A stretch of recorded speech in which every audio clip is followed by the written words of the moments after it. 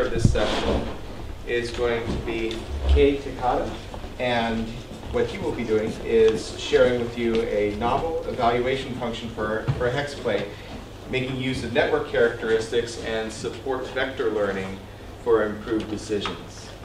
Thank you. Thank you.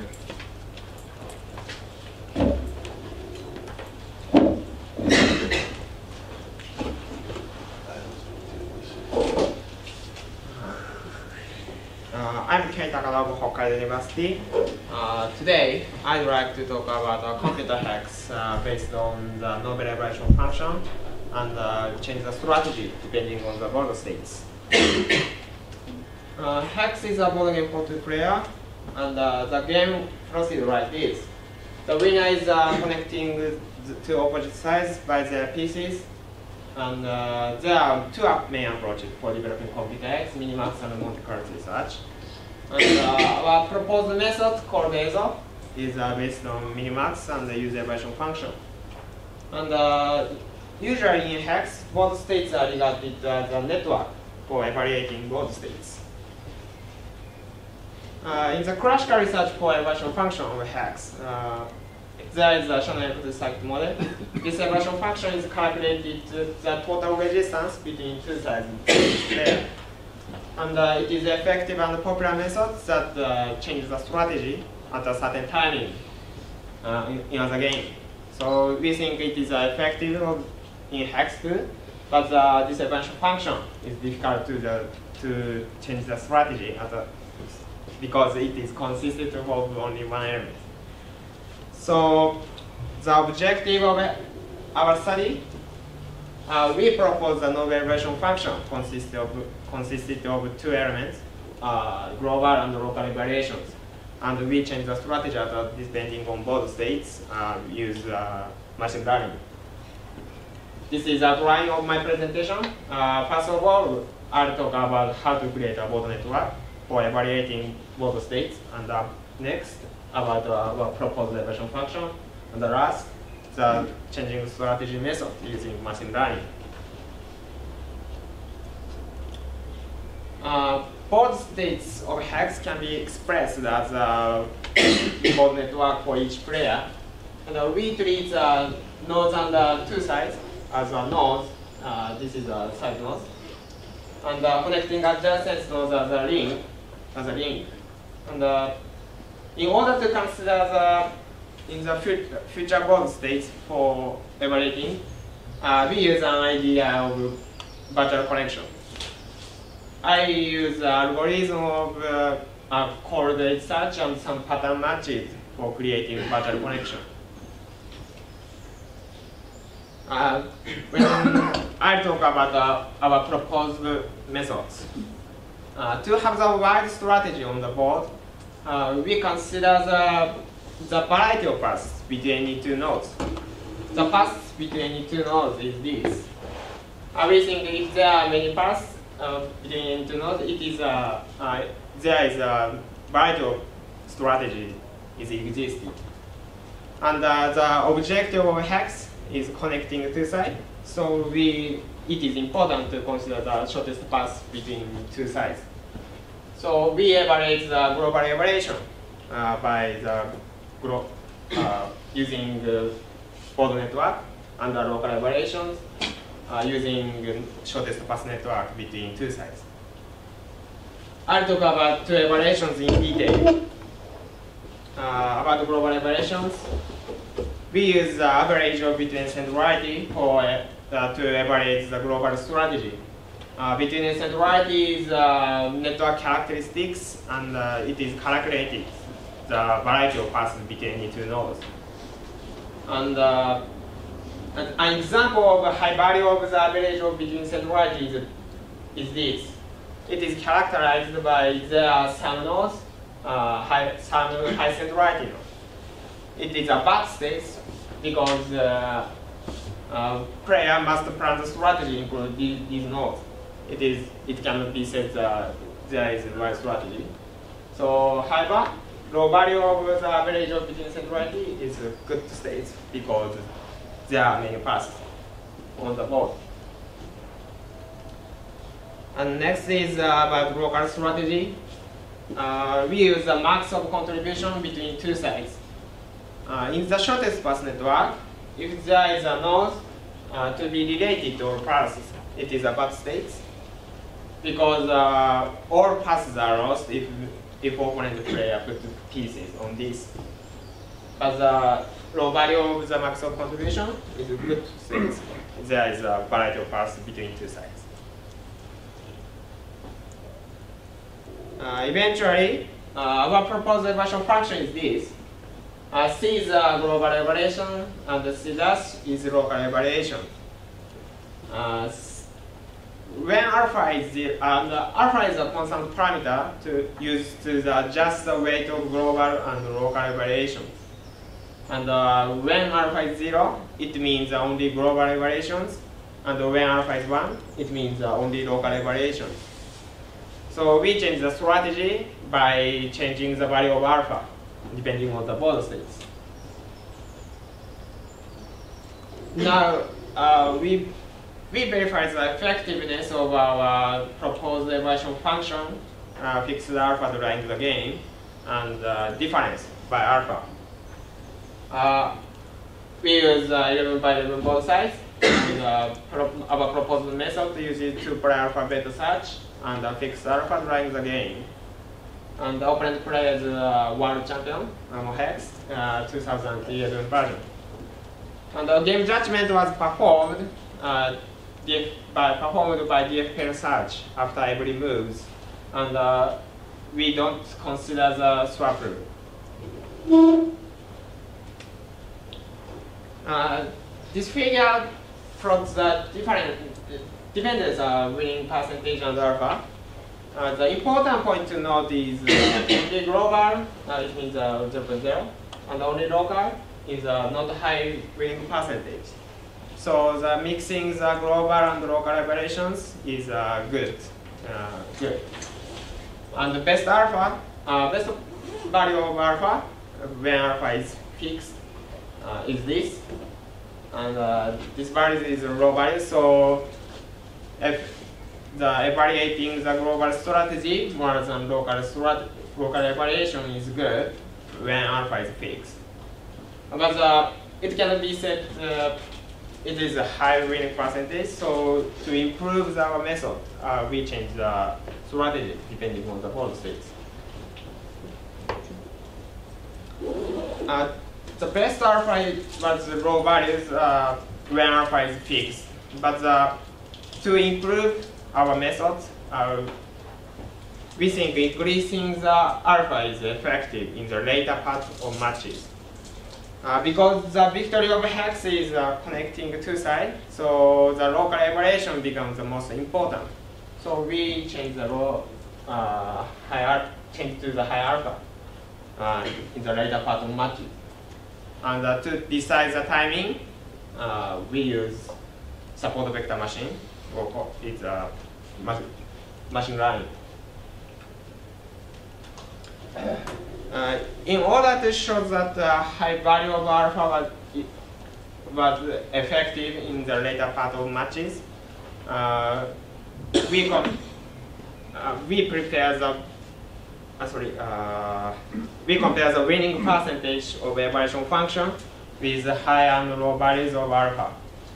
Uh, we prepare the both states appear, which appeared in previous experiments. So fixed alpha played against Mohex. Uh, Mohex. Uh, we tested uh, matched from the bo same board states uh, 10 times like this. And uh, the high value of alpha was set to 0.5 and the low, the value of low value of alpha was set to the best parameter when alpha is fixed. And the result is this. Uh, this figure shows the difference, the number of wins, the number of wins obtained by using low alpha and high alpha. The plots of high value means that uh, it can win the game only by increasing alpha, and the, low, the plots of low values, it means uh, can it could win the game only by low alpha.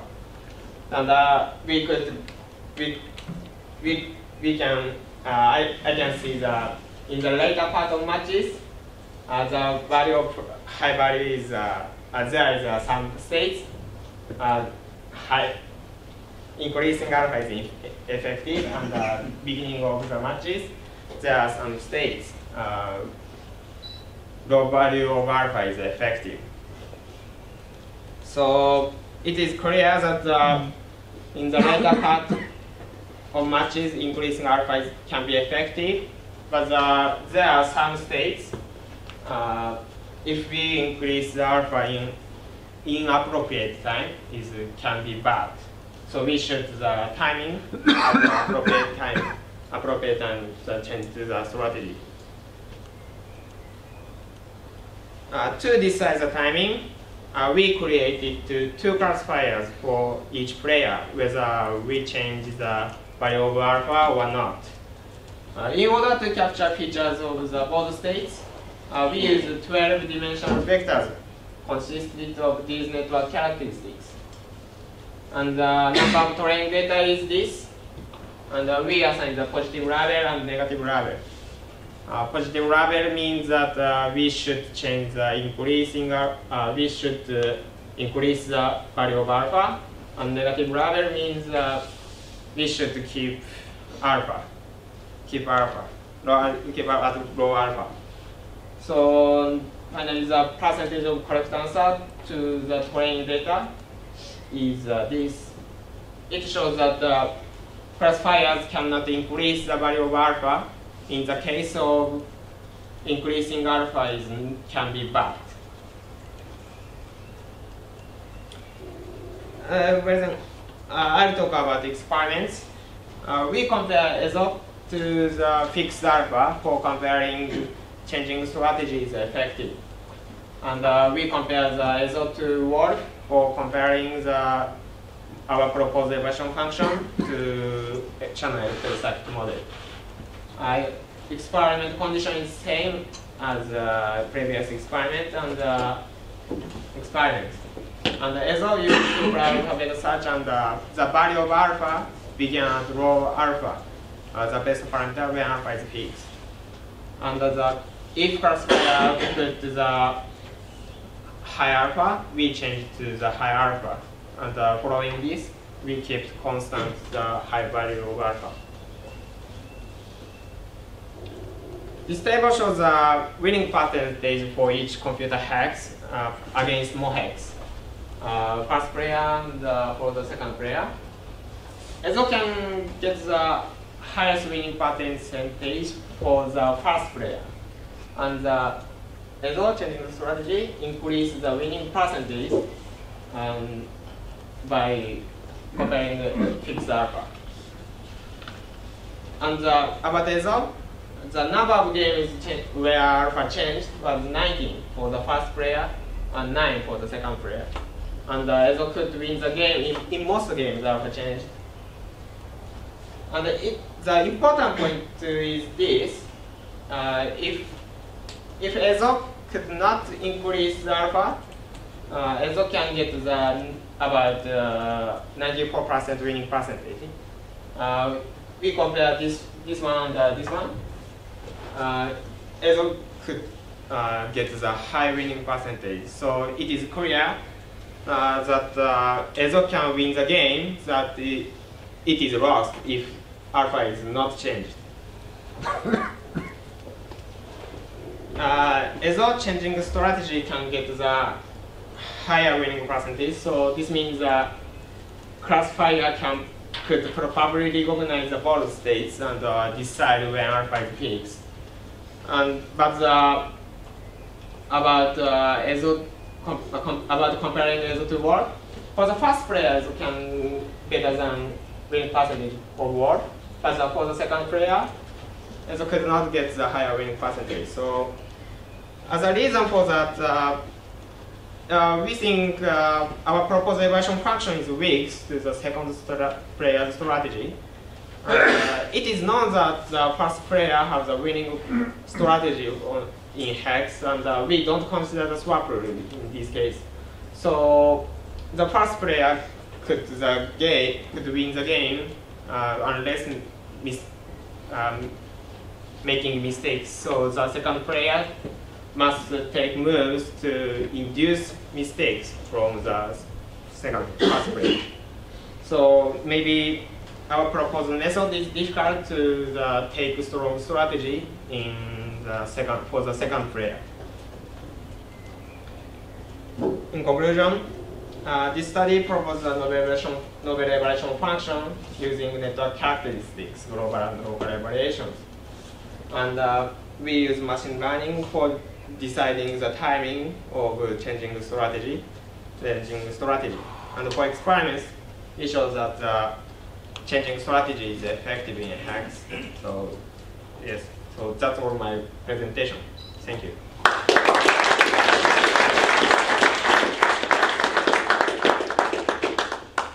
Questions?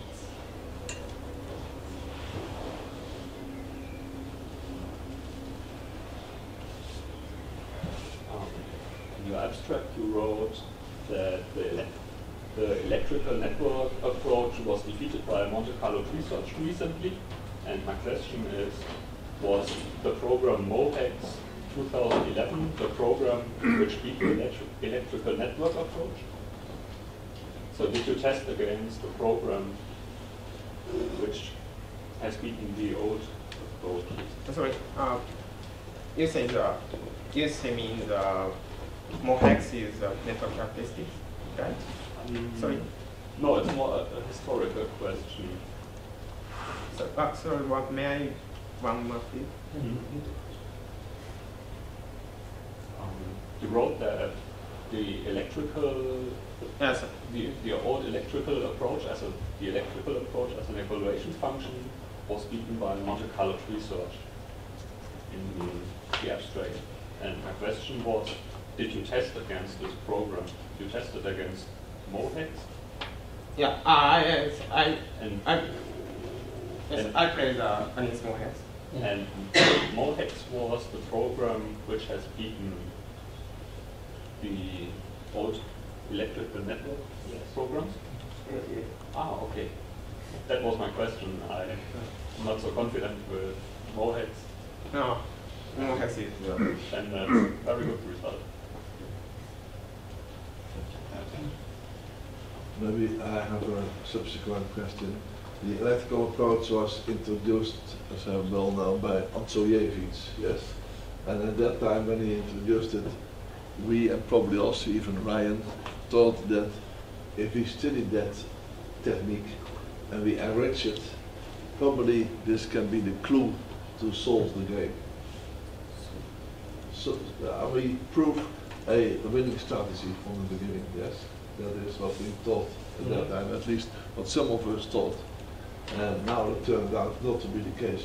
Have you find uh, specific positions where you can prove that, um, I would say, the Monte Carlo move is definitely better?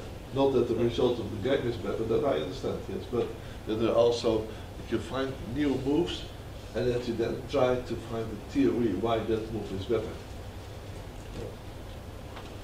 yes. Uh, Do you understand my question? sorry. Uh, uh, sorry. I uh, can your repeat question. it, but also, Ryan, do you understand my question? We want to know if there are positions where one of these models works better than the other? Yes, yes, Exempt office. yes. That is my question indeed, yes. Yes. And the answer is yes, I understand, yes. But then, my next question. No, there's of no easy example. Yes, that's not easy, I understand, yes. Yes. But I, I have another question. Um, can you say something about the first moves that your programs would typically make in these experiments? So if, if they play from the empty board, do they always tend to play in the same place or mostly in the middle? So- So in your experiments, you do not use the swap rule. yes. So what moves do they tend to make as their first move? Uh, is uh, from the first play, from the first move, the, each player starts the search from the initial board. But what, what moves do they, what is the usual first move? Is it random or do they choose one? No, uh, each play, each player decides the first move for such. And which move do, does, Izo, which move does it like as its first move? It's right. 初初手がどんな手か uh, so each player starts the search for the initial board state, so the... Ah, so in, initial, initial the position, you see.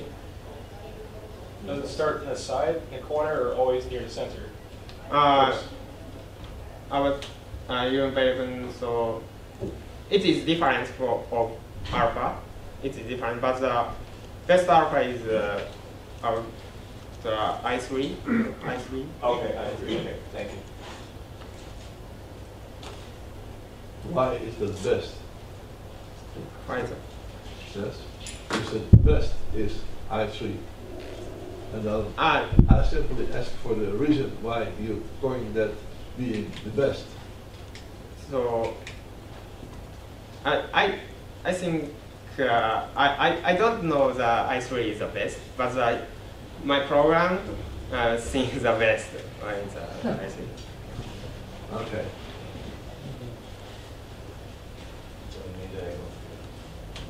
For- So for those of you who don't know, I three is on the main diagonal, Yes. three away from the corner. Yeah. And Monte Carlo often prefers on the main diagonal, two away from the corner. Sometimes programs prefer in the middle. And what do humans prefer? Humans like the middle. I'm not saying that you are not a human, but what do you prefer? I mean, excuse me, but sorry. I, I don't think much, my programs are way stronger than that. So. Okay, okay. I'm just doing some inductive logic now. Yes, yes. Other questions?